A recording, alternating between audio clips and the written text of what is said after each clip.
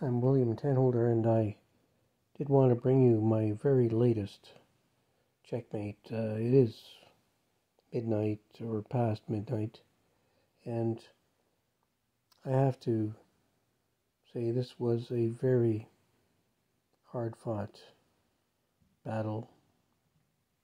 It was an amazing positional game, and it resulted in a checkmate, which you can see. So just, it looks simple, right? The, the Tower of Power. But it was very positional, you know.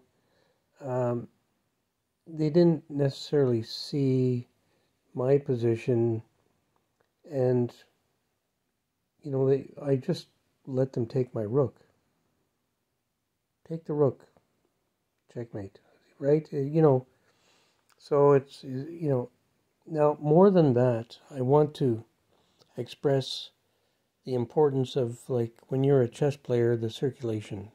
So, I want to show you something that's incredibly important the circulation of your hands. Yes. Yes, this is very surprising, isn't it, that I would come up with this? But I think it's so important, you know, that you have one of these balls and you just work that ball with your fingers. You know, work that ball.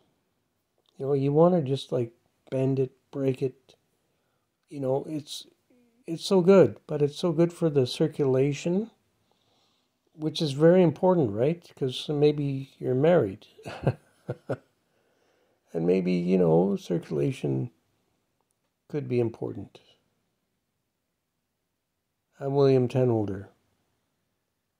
I love chess.